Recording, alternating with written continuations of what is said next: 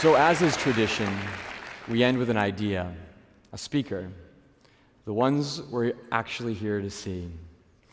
But before we get to our final speaker of the day, I have a special guest who's going to introduce that person.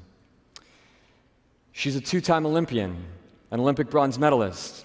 She's played in five World Cups. She's the longest serving soccer player in our country's history. Freshly retired and a UNICEF ambassador, I'd like you all to welcome Karina LeBlanc to the stage.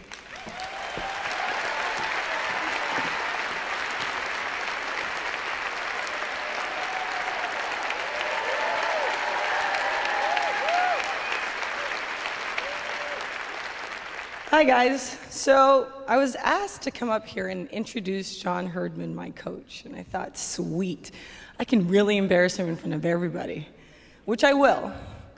But I wanted to tell you about John Herdman, who is far more than just a coach.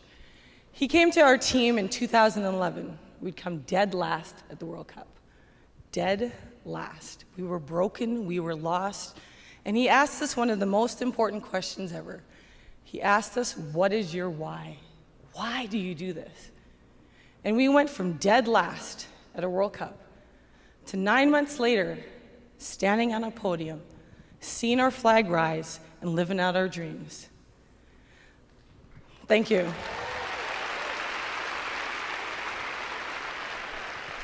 But the incredible thing about John Herdman is he is far greater than a coach.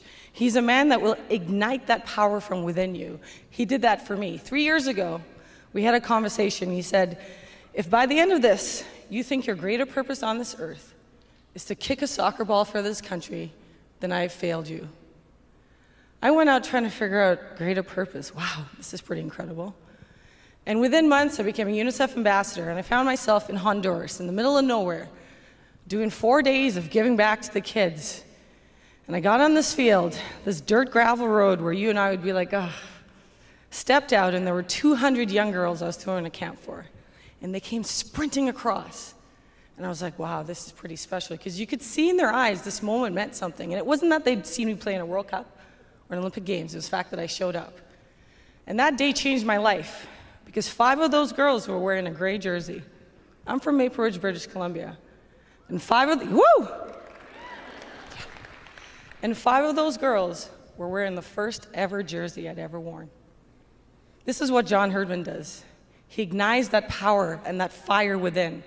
He did it for our team. He'll do it for you here today. And as, before I want to introduce him, I have to do justice because I, say I have to stay authentically me. I have to embarrass him. So he thinks I'm just here to say you're a great coach. But I'm going to get him to dance on stage. Yeah? Who thinks I should do that? Okay. yes. So let me introduce to you my coach, my mentor, my hero, John Herdman. Come on. oh, man. Uh, you're killing this, man. Hey? Nah. What we're doing? Oh, man. This is the only move I've got. Like, it goes like this. There you go. John Herdman, everybody. It's not that bad.